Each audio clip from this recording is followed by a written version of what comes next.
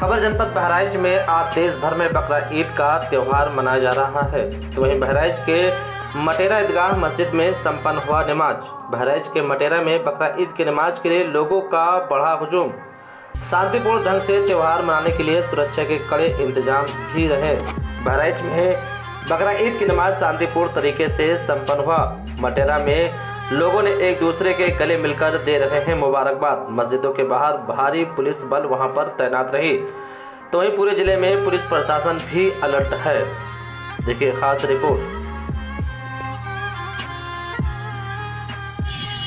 आपका नाम क्या है और कहाँ के निवासी हैं? जी मेरा नाम मोहम्मद नियाज अहमद है और मैं इसी क्षेत्र के ग्राम हलवा का रहने वाला हूँ।